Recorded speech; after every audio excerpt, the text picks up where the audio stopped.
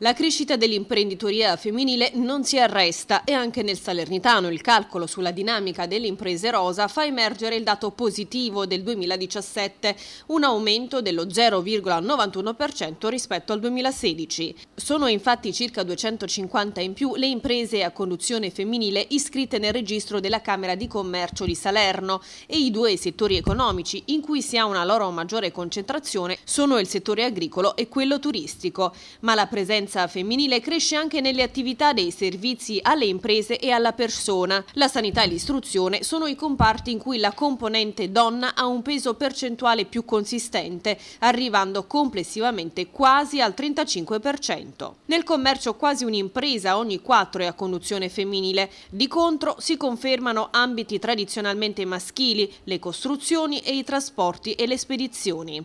Questo in sintesi è quanto emerge dalle elaborazioni dei dati informativi infocamere effettuate dall'Osservatorio Economico Provinciale della Camera di Commercio di Salerno. Grafici e tabelle statistiche sono reperibili sul sito web sa.camcom.it.